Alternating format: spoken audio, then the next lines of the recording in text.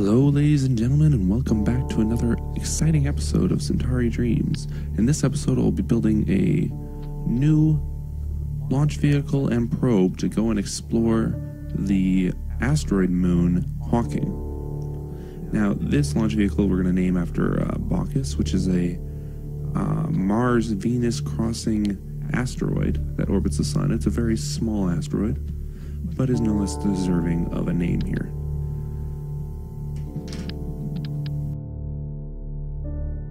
Now, in this rocket build, I'm going to be building simultaneously bigger and smaller than I've built here before, because I'll need to start off with a huge lifter to get into orbit, and then end with a tiny probe to uh, eventually, hopefully, circularize and encounter Hawking.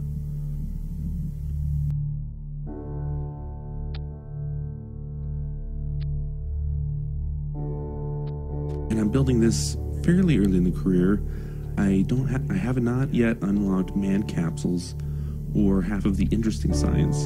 So I'm going to jam the magnemometer in here.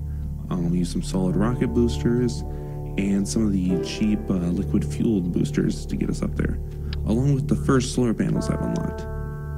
And all of this is in the attempt to go low mass and high delta V. I have three little ant engines there to allow me to gimbal and spin in just the right ways. And this should hopefully let us get close to Hawking, at least close enough to get some science done.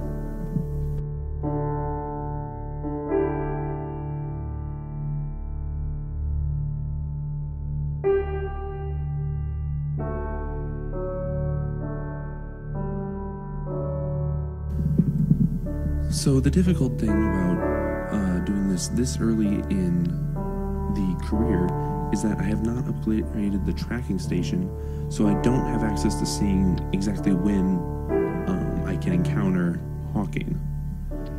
So without that, what I'm going to do is try to use the same method we used to go to our moon from Earth and just wait for it to rise while attempting to be in the same uh, inclination as it.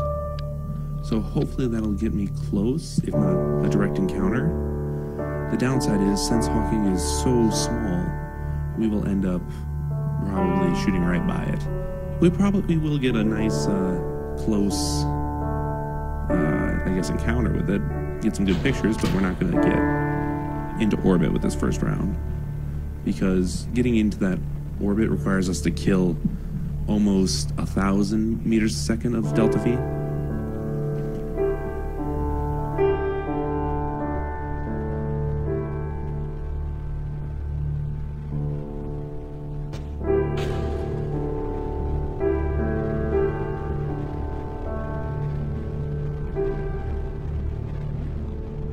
ditched nicely, and now we're starting to pan over. Now, this is run at two times speed because it takes a, about 10 minutes to burn to orbit here, since this is a real scale solar system. The clouds do look nice. The stars are, as days go on, now that we're about two months into the game, you can start to see uh, Alpha A and Alpha B split apart from each other and that's because, as in Elcano orbits A, it'll go between both of them. So we'll have kind of a twilighty night here in a little, in a couple of days. Well, realistically, about six months from now. But, you know, probably next episode.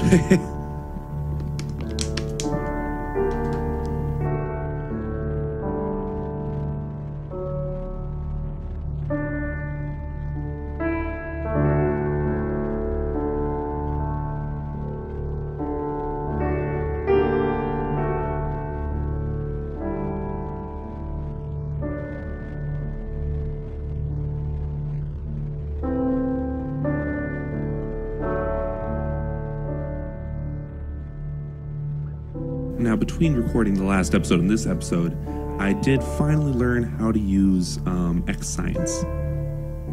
Because I was actually clicking on the completely wrong button. There's one that gives you a list of all the science experiments, and there's the one that tells you when you can do them.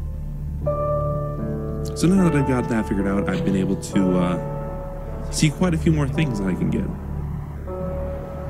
And there we go, nice stage separation.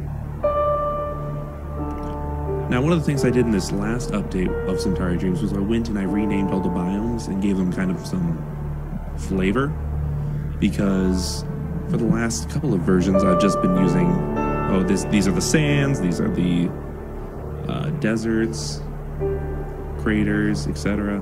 Nothing too interesting. So I decided to add some flavors and uh, kind of give give them names based off of things they relate to from Earth or our galaxy or solar system. Sorry, galaxy. Yeah. So we're almost into orbit here. Looks like we're coming up on uh. Now it does look like we are not in even close to the same inclination as Hawking. So we will try to correct that on our way to Hawking, but more than likely we're going to have to go for where our ascending node and descending node will uh, interact. Hopefully we'll get there at just the right time where we see an encounter. It's not too likely. Really what I'm aiming for here is to get that high altitude science above Elcano. And if we get lucky, we'll get the encounter with Hawking. But otherwise, our next launch should will have enough money to upgrade the tracking center and get into a nice orbit around Elcano. So now I'm in a stable orbit around Elcano, but I am completely out of plane with Hawking, which means without wasting a bunch of Delta V, I will not be able to get a good encounter.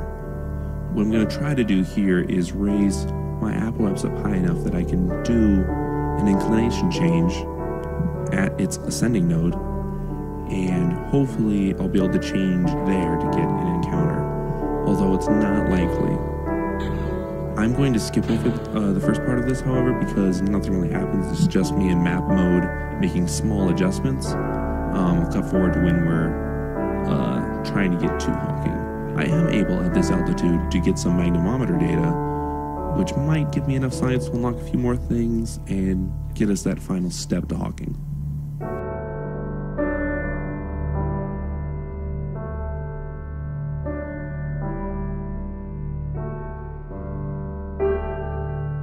So you can see here that I'm getting very close to Hawking. We can actually see it there in the distance, but I am running out of Delta V, and there's no way I'm going to be able to make it up and get an encounter with it. So what we're going to do is grab the science we can from this altitude and relaunch with an upgraded tracking station, which will help me see when I'm in the right inclination to launch.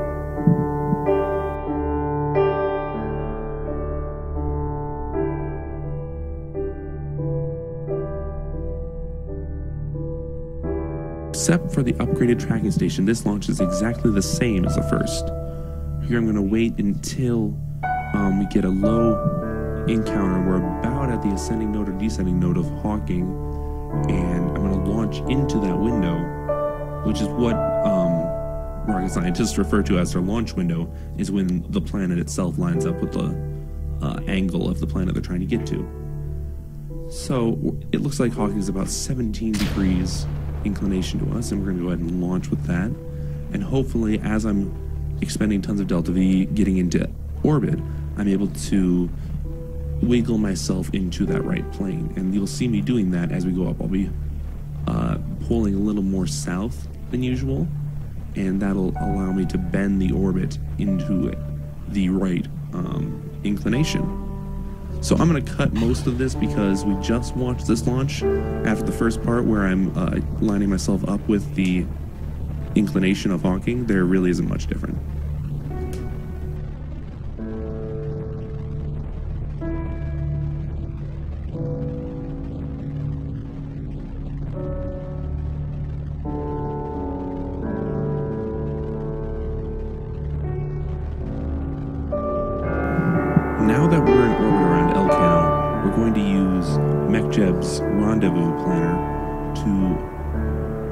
A little counter there that shows us our relative inclination and our separation at closest approach. So what we're going to do is burn up so that we get close. We, our apoapse is as far out as it can be at the descending node, and then at the descending node change um, the relative inclination. So now I'm at about 5 degrees to Hawking, whereas before we were close to 30 degrees. And this will help us immensely with getting close enough to get that encounter. So after using an orbit to drop my inclination, I'm going to start burning to get to the same height as Hawking. Right about as it is coming over the horizon, but a little earlier because I'm using a um, because it's a lot closer than our moon and it orbits faster. So therefore, we're gonna have to start earlier because it'll take us longer to get there. Well, it'll take us less time to get there. Sorry. So now our inclination has dropped to about two degrees, a little bit more, and we're gonna keep dropping it as we get closer. And we're watching our closest approach drop there to about six millimeters. And if I remember correctly, um, Hawking's sphere of influence is about 100 kilometers, which is very, very, very, very small in comparison to most bodies we deal with in stock Kerbal Space Program, which just makes it even harder to get an encounter. So now that we're close, I'm going to pop over to map view and take a look. Now, map the stock rendezvous planner, which is the one that shows you markers on your orbits. That's uh, it's not as precise as MechJeb's. MechJeb's uses the real numbers, and KSP uses only the numbers you can calculate right now for your orbit. So, whereas on the orbit you'll see you're five kilometers away, and after you pass that point, you'll get even closer. And sometimes it just doesn't line up quite with what you know will really happen, and which is why in the stock game you can watch yourself fly right by. Uh, fly right by an encounter that it said you had that wasn't actually there. So we're gonna let this orbit fly by and make another attempt.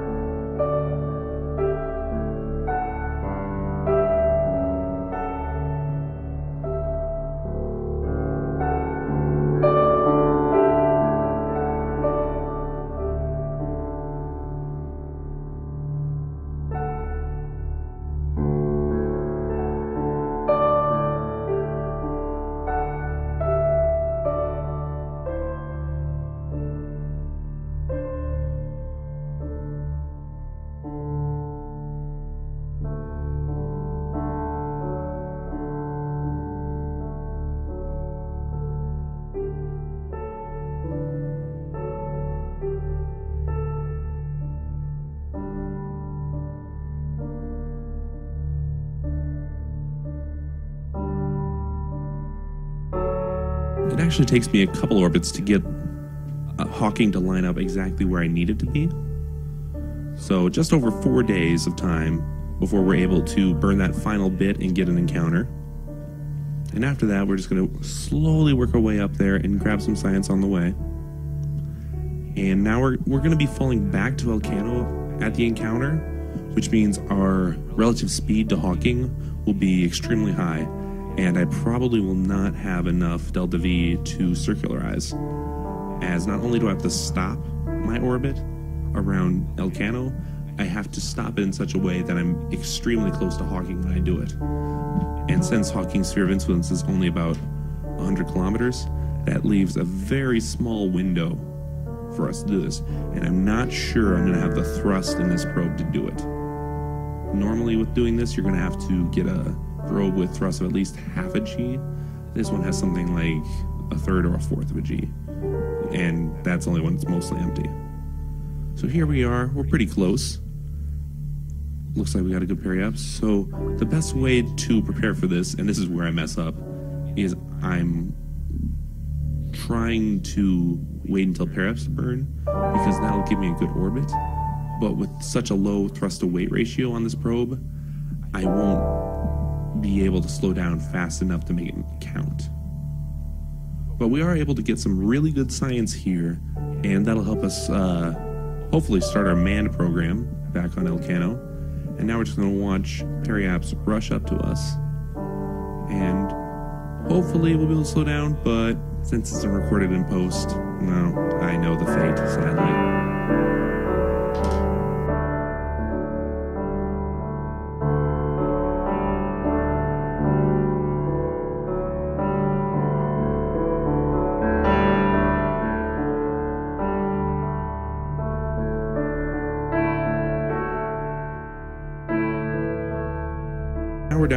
Grabbing even more science and getting even more world first rewards. So let's go ahead and point retrograde. Grab some more science. I wait until the last possible moment, which was the wrong decision. I should have burned as soon as I could and just uh, adjusted for how far from Periaps I was, but instead I waited until we got to Periaps to burn. And that means that I was very high above Hawking when I finally managed to stop my orbit. So here we go. We're going to burn.